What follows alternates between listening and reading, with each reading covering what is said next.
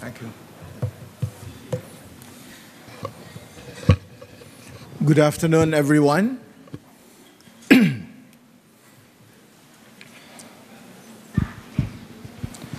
so, these are the objectives of the presentation. We will try to review the importance of the device in the delivery of effective inhalation therapy.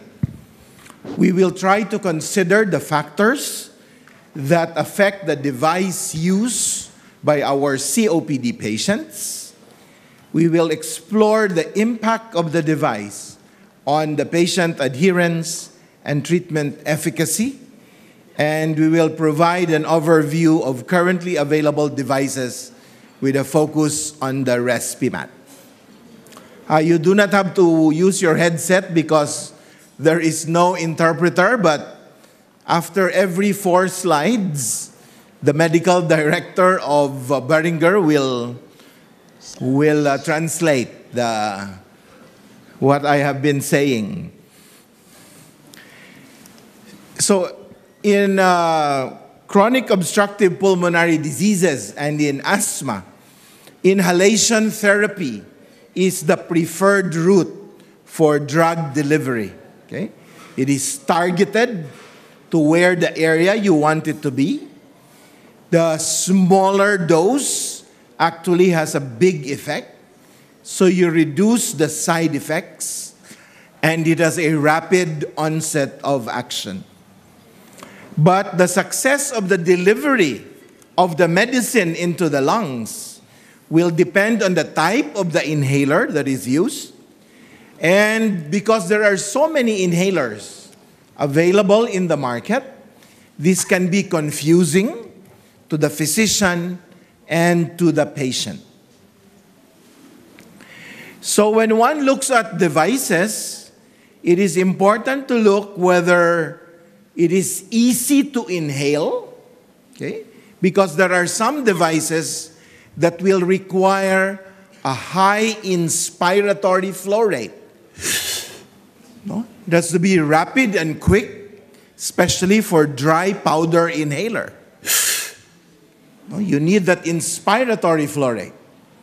And then for some devices, like the pressurized meter dose and the Respimat soft mist inhaler, you only need to have a slow, deep breath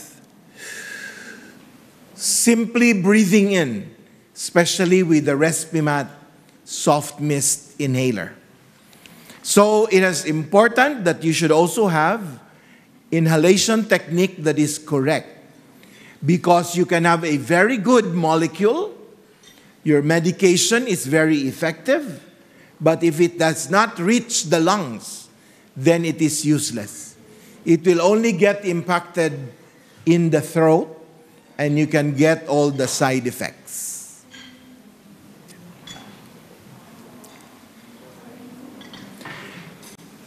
It is for this reason that the Global Initiative on Obstructive Lung Disease 2018 emphasizes on education of the patient and the physician on inhaled devices. Okay?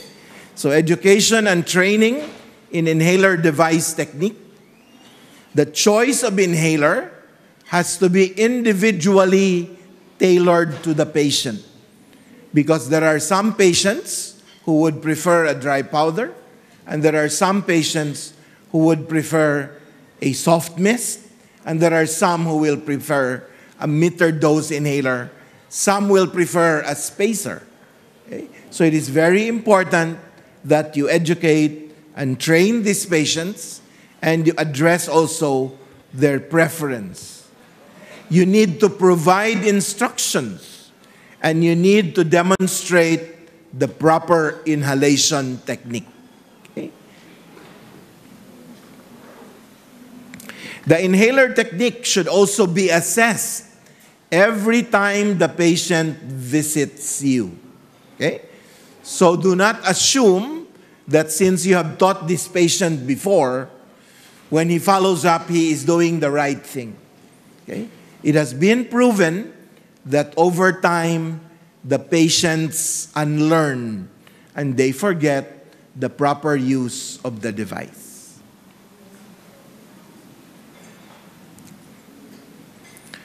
So, to be effective, an inhaled therapy is dependent on several factors. Okay? So, number one is aerosol velocity. What is the speed of the aerosol? Okay?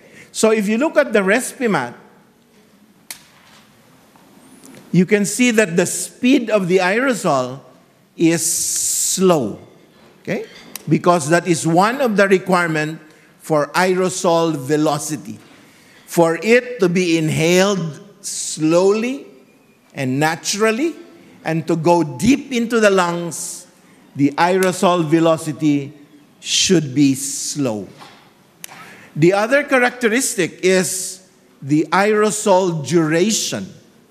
How long does the aerosol stay in the environment? Okay?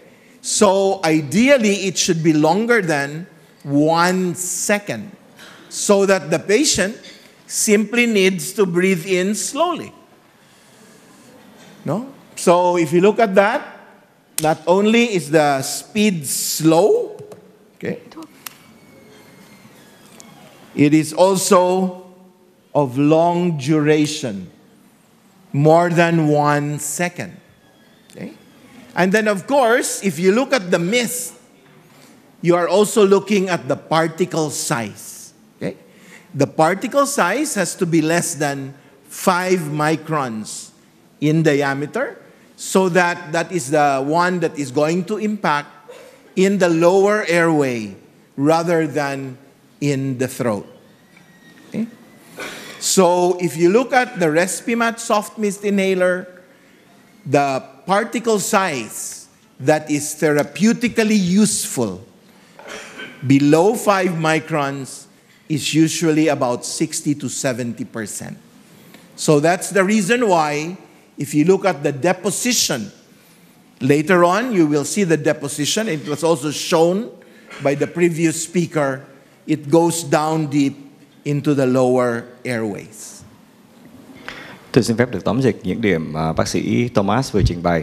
Sau khi điểm qua bốn mục tiêu của bài trình bày thì ông mới nêu là cái tầm quan trọng của điều trị tại chỗ đối với các bệnh tắc nghẽn đường hô hấp. Tại vì ờ, chúng ta có thể tối ưu hóa được cái lượng thuốc đưa vào cơ thể và tránh được cái tác dụng toàn thân và cũng như là cái khởi phát điều trị nhanh. à, và các loại thuốc dụng cụ hít khác nhau thì nó có điều đòi hỏi yêu cầu kỹ thuật khác nhau nhưng mà cái điểm ờ, quan trọng tức là nếu cái dụng cụ hít không đảm bảo được thuốc đưa vào cái cơ thể được đưa được vào đường hô hấp của người bệnh đưa vào phổi của người bệnh thì cái à, mục tiêu điều trị khó mà đạt được và cũng do những yêu cầu kỹ thuật khác nhau như vậy, nên ờ, đôi khi là cái việc sử dụng nó gây ra những cái nhầm lẫn, một số khó khăn cho bệnh nhân và cũng như nhân viên y tế. Một cái dụng cụ hít cần được dễ sử dụng ờ, và nó ít lệ thuộc vào lực hít của bệnh nhân. Và đồng thời dụng cụ hít cần có cái kỹ thuật ờ, thích hợp hít hợp lý.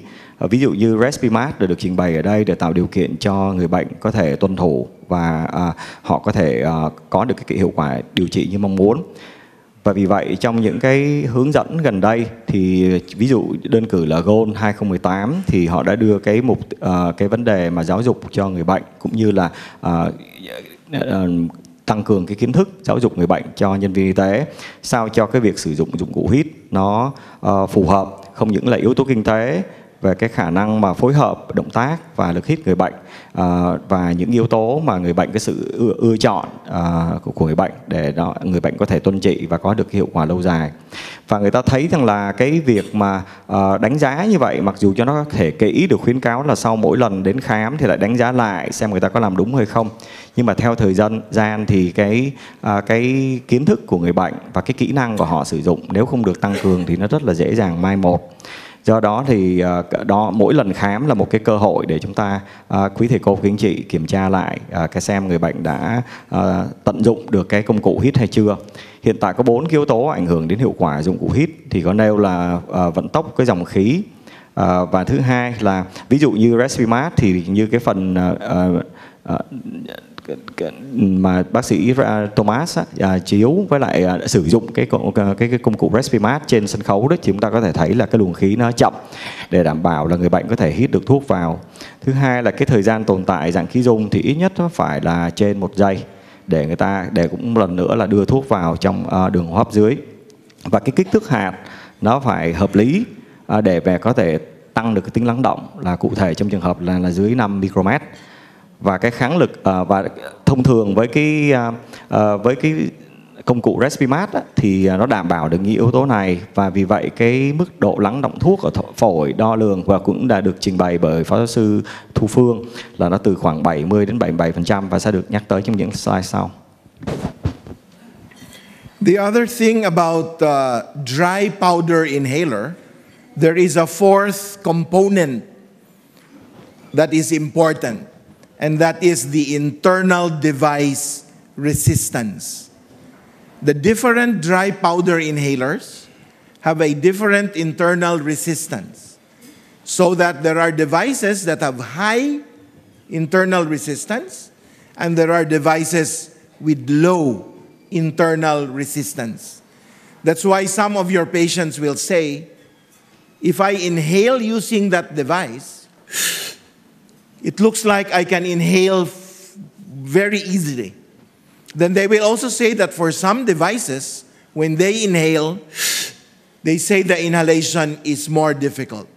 So, as an example, for the turbuhaler, you will need a very high inspiratory flow rate for the medicine to go down deep.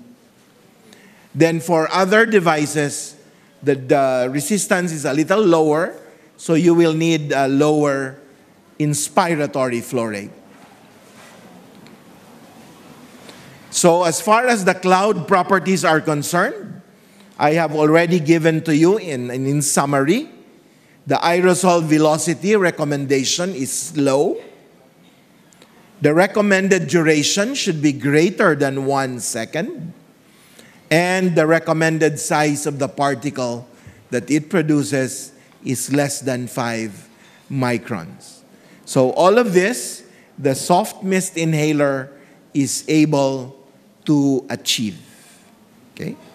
So the ideal one is slow moving, long lasting mist. Okay? So this is the example of a slow moving, long lasting mist. So you are all familiar with the pressurized meter dose inhaler. You are familiar with the dry powder inhaler. And now I think that the Respimat has been in Vietnam for some time. Most of you are already exposed to the soft mist inhaler. So, the problems with the PMDI and the dry powder, with the PMDI, it is the coordination between the hand and the mouth. Okay? So that as they slowly inhale, you are pressing for the medicine to go down. With a dry powder inhaler, you rely on the forceful inhalation. Okay? So without a forceful inhalation, much of the medicine from the dry powder stays on the throat. So these are examples of the inspiratory flow rate. The inspiratory flow rate should be optimal for the medicine to reach down. So if you look at the Diskus, you require 60 liters per minute. With the ellipta, it is 60 liters per minute. With the HandiHaler, 30 minutes, uh, 30 liters per minute. So you can see here that there is no soft mist because in the soft mist inhaler, you do not need a strong inspiratory flow rate They only need to simply breathe in. À, xin được tóm dịch một số slide kế tiếp như sau. Thì cái đặc điểm của đám mây khí dung đã được uh, bác sĩ Realiza trình bày tóm tắt đó thì xin được nhắc lại là tốc độ dòng khí thì nên thấp và thời gian của cái dòng khí dung thì à, nên à, là từ một giây trở lên cũng như kích thước hạt nên đảm bảo để à, đảm bảo tính lắng động là nó nên là dưới 50 5 ờ, micromet. Và dụng cụ Respimat cái là phun xương hạt mịn nó đảm bảo được những yếu tố kỹ thuật này. Và nếu chúng ta nhìn ở ba cái loại dụng cụ hít thì cái bình chúng ta có bình định, xịt định liều áp lực à, dụng cụ bột hít khô hoặc là dụng cụ phun xương hạt mịn thì chúng ta đều có những cái yêu cầu khác nhau và nó đều có một số đặc biệt. Đối với lại cái những cái sản phẩm đi trước á, thì chúng ta có một số cái hạn chế. Ví dụ như là cái yêu cầu phối hợp động tác tay nhấn hít của người bệnh. À, và nếu không có đảm bảo được yếu tố đó thì cái lắng động thuốc ở miệng và họng rất là nhiều cũng như là à, riêng cái dụng cụ mà hít bột khô đấy thì nó có một cái yếu tố thứ tư đó là cái tính à, cái kháng lực ở bên trong kháng lực nội tại của chính cái cái cái bột à, bột hít. Do cái bột thuốc như vậy nên người ta có những cái loại ví dụ như là cái kháng lực nó cao hoặc là như có những loại thì kháng lực nó mức à, độ là chấp nhận được à, trung bình hoặc thấp. À, và bệnh nhân họ cảm nhận được điều đó. Khi họ hít cái bột hít thì nhiều người ví dụ như sử dụng turbohaler người ta có cảm thấy được cái khó khăn khi họ hút hít cái cái cái bột đó vào. À, và ở đây thì chúng ta thấy là à, một số cái dụng cụ bột khô đó thì à, bệnh nhân cũng phải có được cái lực hít họ nhanh và mạnh để họ đưa được cái những cái uh, phần tử của cái bột thuốc vào vào vào phổi càng nhiều càng tốt. Thế thì chúng ta có cái cái cái tốc độ uh, cái cái lực hít gắng sức tối thiểu uh, mà và cũng như cái uh, lực hít gắng sức mà được gọi là tối ưu để cái thuốc phát huy hiệu quả thì cái bảng có trình bày uh, những yếu tố uh, những cái dụng cụ khác nhau thì cái dụng uh, cái lực hít tối thiểu cũng như cái lực hít thế nào là tối ưu. Thì chúng ta thấy nó dao động từ khoảng 30 đến đến 60 tuy nhiên thì Respimat thì không được ghi nhận tức là cái phun xương hạp biển không nằm trong bảng này. Tại vì đối với phun xương hạp biển thì cái yếu tố mà cần phải có lực hít gắng sức để đưa thuốc vào thì nó không được không cần đặt ra cho những cái đặc điểm cái thiết kế độc đáo của cái sản phẩm. Uh, the next slide will actually show you the different internal resistance of the different devices. So you can see that the Turbuhaler has the highest internal resistance, followed by the other devices. And you can see that the Handihaler has among the lowest, and then the Respimat with the lowest uh, inspiratory flow rate required. So there is such a thing as a COPD paradox. Okay? Because our patients with COPD have damaged lungs. And many of them actually, especially if they have hyperinflation, they are not able to forcefully inhale. This is called a paradox because majority of the patients with COPD are actually prescribed a dry powder inhaler where they are required to forcefully inhale. So that is the reason why this is called a paradox. Okay? So damaged lungs being required to inhale forcefully to get the medicine into their lungs. So what do the studies show? It shows that more than half of patients with COPD cannot actually generate an inspiratory flow rate of 60 liters per minute. Okay? A good number of them can do only suboptimal.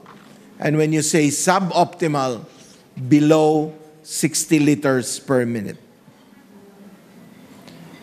And the reason why you need a high inspiratory flow rate for the dry powder inhaler is because you need to deagglomerate the powder so that it becomes smaller particles for each to reach the airway. Okay? So that's the reason for inhaling fast with a dry powder inhaler.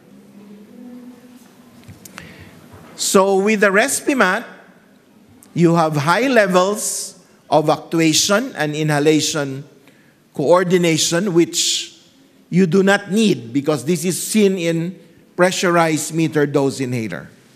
You do not need rapid and forceful inhalation as in dry powder inhalers. Xin được tóm dịch các phần các slide vừa rồi như sau. Thì chúng ta thấy là lực hít công cái biểu đồ nó mô tả các lực hít gắng sức cần thiết để giúp thuốc lắng động à, phổi à, với những cái dụng cụ hít khác nhau. Thì uh, tubular là là cái phần kháng lực cũng như được đã được trình bày nó cao do cái kháng lực nội tại cái bột hít. Thì người bệnh phải gắng sức rất nhiều và cái kháng lực mà cần cái cái lực hít mà cần ít nhất là đối với dụng cụ Respimat và cái khái niệm thì nó cũng liên quan chặt chẽ với lại cái uh, nghịch lý trong COPD. Cho bệnh nhân tiến triển uh, bệnh trong quá trình của họ thì chức năng phổi, phổi nhu mô đã bị hủy hoại khá nhiều và chức năng phổi họ giảm, lực hít họ giảm đi. Nhưng mà trong khi đó thì họ lại cần những cái dụng cụ hít mà lại đòi hỏi phải uh, hít vào gắng sức. Do đó thì khó lòng mà tối ưu hóa được cái điều trị cho họ và người ta thấy rằng là trong một cái khảo sát thì hơn một nửa bệnh nhân à, bệnh CVD thì họ không đảm bảo được một cái lực hít từ 60 ml phút trở lên. Và ngay cả những bệnh nhân CVD giai đoạn nhẹ cũng đã có lưu lượng hít vào tối ưu dưới 60 ml một phút rồi. À, và đây là một cái vấn đề khó khăn khi bắt họ phải có một cái phối hợp để đưa thuốc vào cơ thể. Vì Respimat với cái thiết kế thì như vậy rồi là à, đã được à, trình bày đi trình bày lại đó thì thông thường cái mục tiêu là tạo ra một cái dòng à, khí dung chậm chuyển động chậm và nó kéo dài thì nó có thể uh, giúp lắng động thuốc sâu ở phổi và ít cần gây gắng sức với những thuốc khác trong khi uh, đặc biệt cái đoạn bột hít thì chúng ta uh, một trong những điều kiện về mặt kỹ thuật là người bệnh phải có cái hít vào nhanh There is actually an algorithm that tells us how to decide what to give to our patients. So the first thing you need to look at at your patient whether they can do conscious inhalation or they cannot do conscious inhalation. So, those who cannot do conscious inhalation are usually the elderly patients and those with problems with their brain. And so, these patients will always need a nebulizer or a pressurized meter dose inhaler with a spacer. If a patient can consciously inhale with sufficient inspiratory flow and is able to coordinate, then you can give them any of the devices that are available in the market.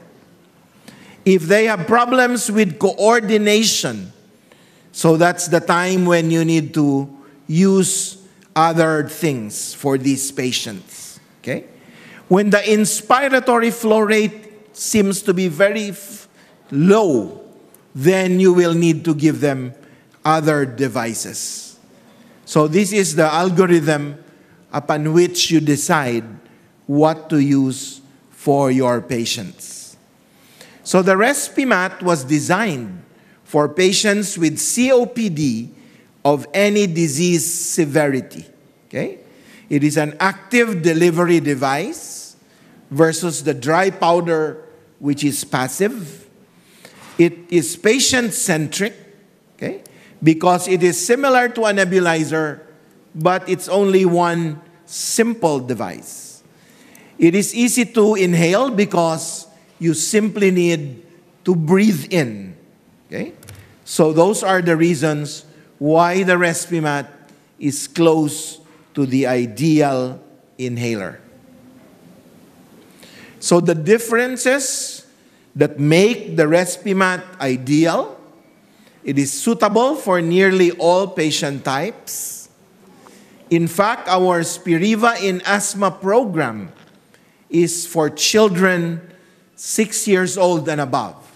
Although I have not yet seen approval for that here in Vietnam for pediatric.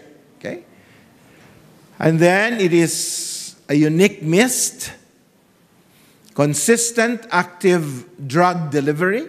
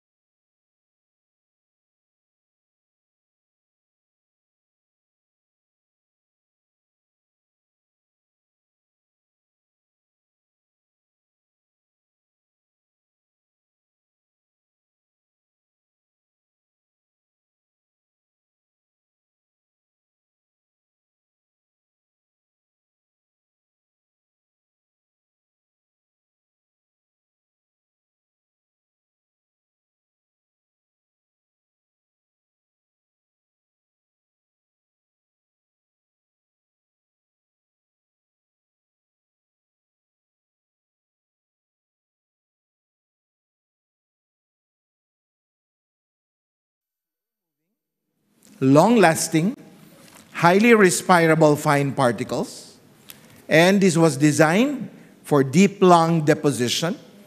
And it is simple to use. TOP turn, open, and press. So, as an example, just turn, you open, the patient exhales, and then just hold your breath 10 counts if they can, and then the second dose will follow. Okay? So with the Respimat, it is usually two doses once a day. Okay? So uh, I hope we were able to achieve and put across the message that the Respimat is close to the ideal device. In the United States, the Arthritis Foundation has actually given a seal of approval for the Respimat as user friendly, even for those with arthritis. Thank you very much. Thank you very much. À, cái phần cuối của bài trình bày thì có tôi bỏ sót một cái yếu tố tức là hiện tại cái Respimat này chưa được chấp được phê duyệt để sử dụng cho đối tượng trẻ em ở Việt Nam và chúng ta đã thấy có những nghiên cứu đánh giá lắng động ở phổi khi dùng Respimat so với những cái dụng cụ ờ, à, đặc biệt như là từ hello chẳng hạn và những cái dụng cụ ờ, bơm xịt định liều thì cho thấy là Respimat phân phối thuốc với hiệu quả hơn. Và đồng thời ờ, như giáo sư Phan Thu Phương có trình bày thì cái khảo sát mức độ hài lòng của bệnh nhân cũng cho thấy là Respimat có được cái sự lựa chọn và cũng như là người bệnh họ họ cảm thấy thoải mái khi sử dụng thuốc. Thì để tóm tắt lại thì đây là một cái dụng cụ phun xương hạt mịn tóc tốc, với cái tốc độ dòng khí dùng chậm và cái thời gian tồn tại cái dạng khí dung lâu và cái tỷ lệ hạn mịn cái kích thước phù hợp cao và vận hành. Ba bước đã được à, à, anh lặp lại à, trên sân khấu rất là xoay mở và nhấn. À, và nếu cần một cái liều thứ hai thì chúng ta sau khi đếm đến 10 giây chúng ta ngưng một chút chúng ta lại bệnh nhân lại tiếp tục như vậy. Và dụng cụ này có thể khắc phục được các cái tồn tại mà chúng ta đã ghi nhận với cái bơm xịt định liều và một số cái dụng cụ hít bột khô.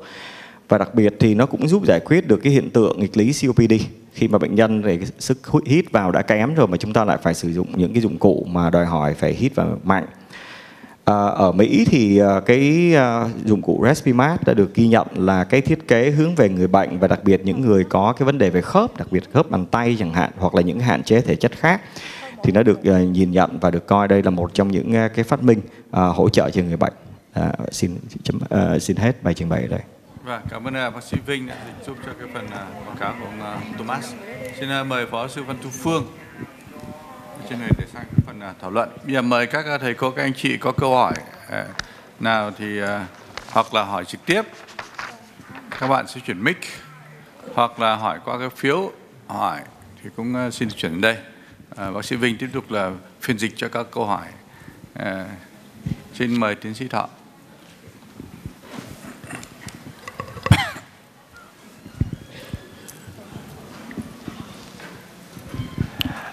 Các bạn uh, chuẩn bị cho mấy cái mic di động ấy. À,